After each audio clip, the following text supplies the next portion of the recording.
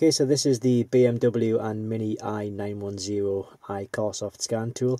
Uh, what we're doing right now is just having a look at the module coverage when hooking it up to the BMW X5 E53. Just having a quick look through the menu here to show you which modules it will actually cover uh, when you actually hook it up to this vehicle. So these are the modules uh, in the first screen.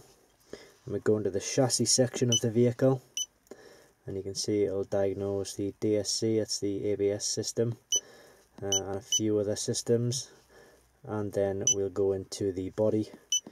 It should give us access to the airbag and things like that.